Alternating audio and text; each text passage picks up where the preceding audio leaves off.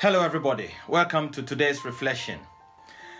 Today's reflection is going to be about uh, hearing the voice of God or how God speaks to us, human beings, how God communicates with us.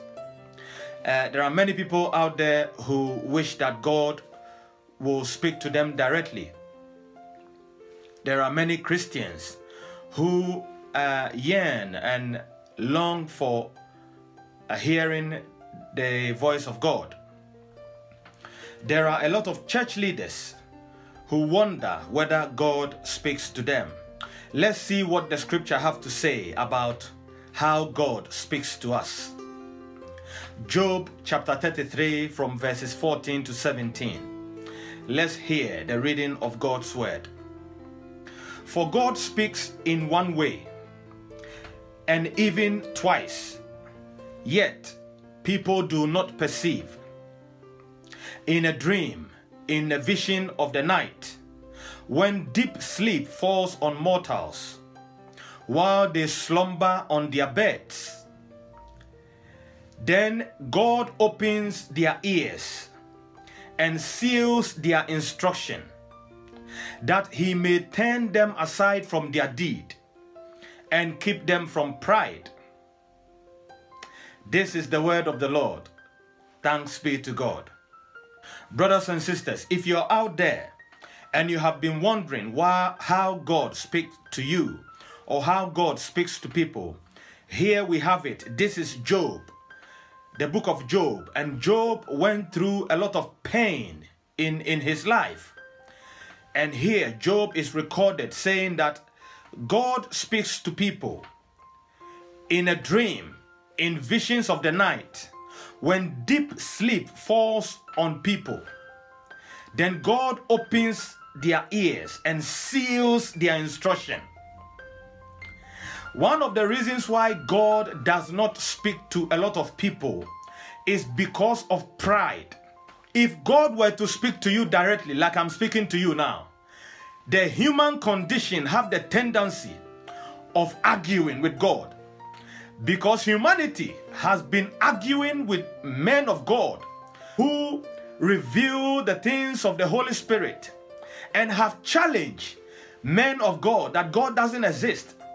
So if you are challenging me as a vicar that God does not exist, how then do you expect that God will speak to you?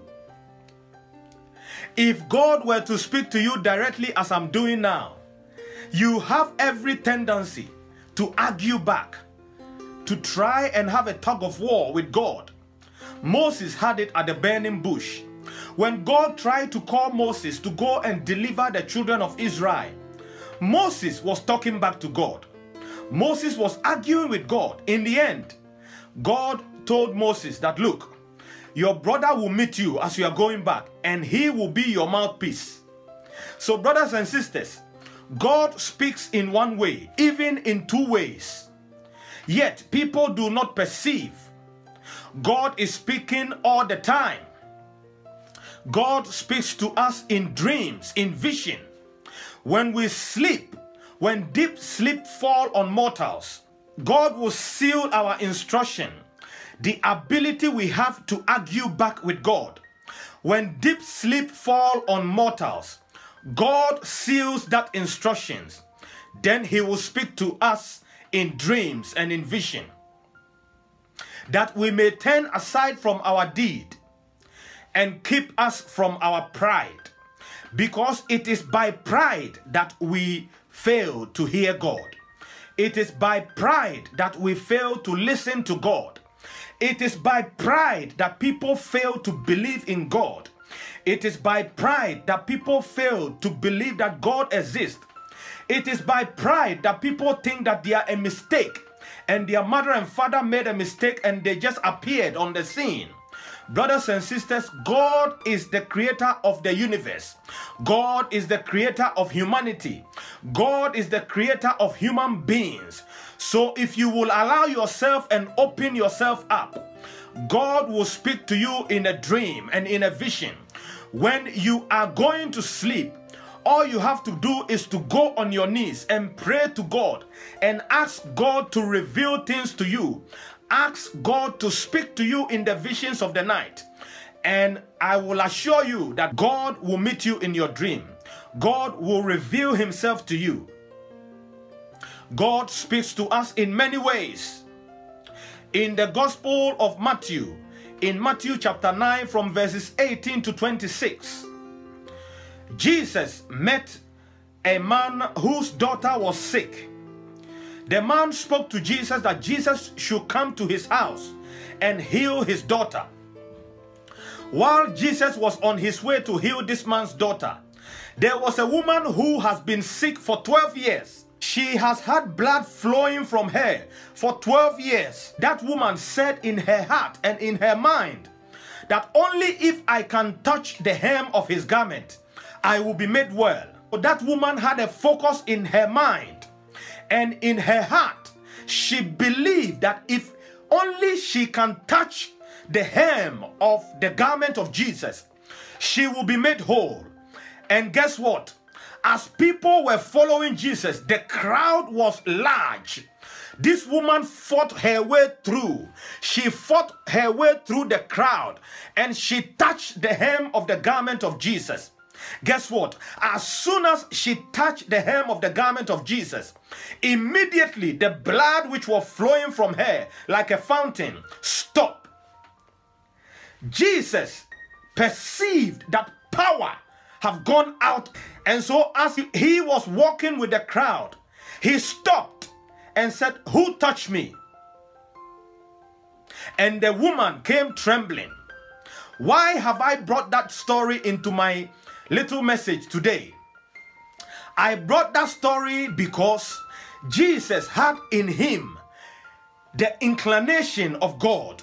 Jesus could hear from his Father. Most of the time, people say that something told me not to do that. Most of the time, people say that something told me to call so so and so.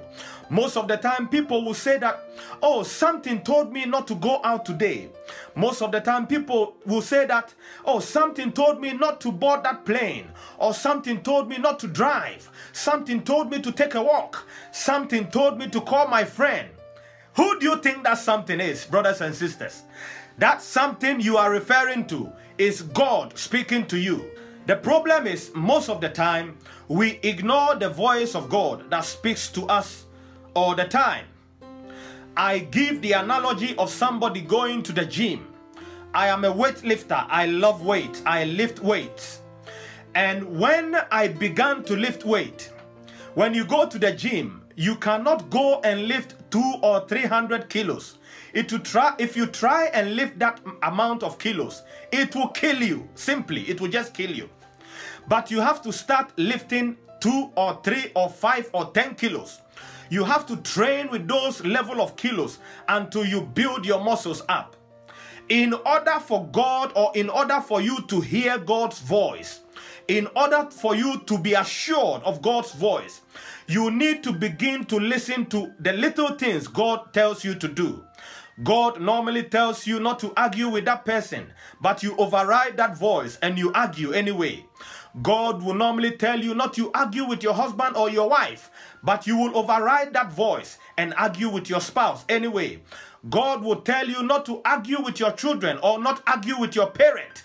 You will override that voice and argue with your parent anyway.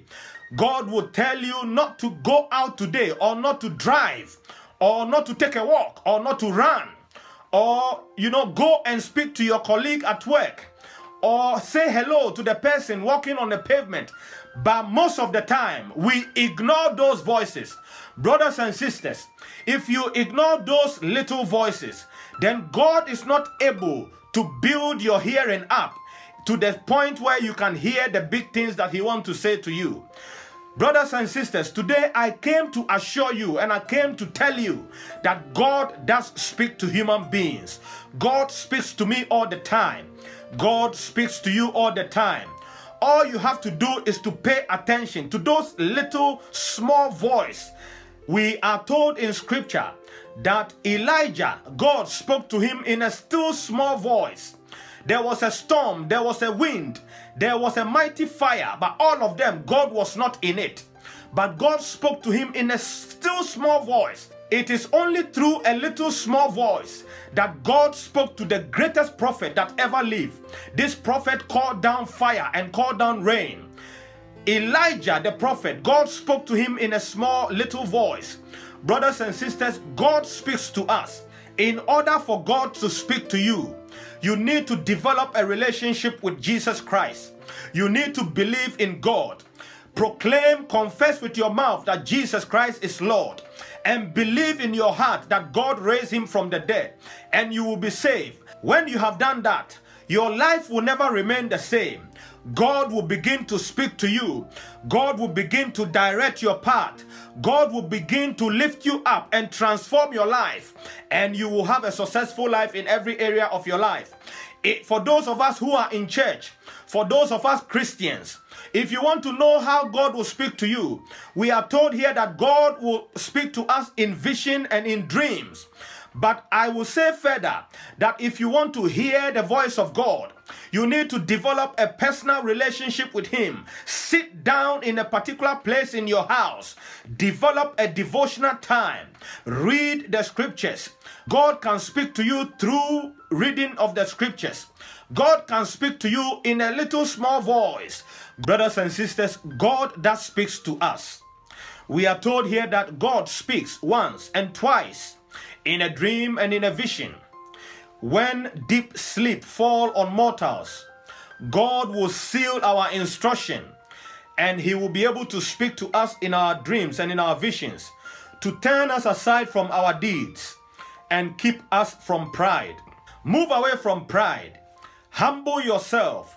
Come to God in humility and remind God that you want to hear him speak to you and God will never disappoint you because he has never disappointed anybody in, in history, in time past. He is the same yesterday, today, and forever. If you seek him diligently, he will reward you by speaking to you. He will reward you by revealing himself to you. God has revealed himself to me before. He continues to reveal himself to me from time to time. And so if you seek God, he will reveal himself to you. All you have to do is go down on your knees, pray to God that one, you want to hear his voice, and two, that you want to see his glory, and God will reveal himself to you. If you are not a believer of God, I want to urge you and encourage you. I invite you to confess with your mouth that Jesus Christ is Lord and believe in your heart that he was raised from the dead and he is seated at the right hand of God and intercede for humanity. If you do that, you will be saved. And after you have been saved, God will begin to speak to you clearly and with clarity. God will begin to direct your path. God will begin to put in your way men and women who will help you to your destiny. Men and women who will help you to succeed in life. For those of you who are teenagers and children, begin to seek God in your life. When you seek God with all your heart and soul and mind, God will meet you. God will transform your life. God will bring in your life every purpose that He has planned for you. For He has good plans for you plans to prosper you and not to harm you, plans to give you an expected end. When you seek God with all your heart, when you seek God with all your soul, your mind, and your spirit, then God will meet you and He will speak to you. He will reveal Himself to you. When you are going to bed, pray to God. Go on your knees and pray. When you wake up in the morning, pray. Go on your knees and pray. Seek God in your day to day life. As you go about your business, seek God in your life and He will speak to you. Tell God that you want to hear Him speak. And I can assure you that God will speak to you. Brothers and sisters, today we have learned that God speaks to us. As you go about your business, Pray to God that you want to hear His voice. Pray to God that you want to see Him in your visions and in your dreams. And God will reveal his glory to you, and God will reveal himself to you. In the name of the Father, and of the Son, and of the Holy Spirit. Amen.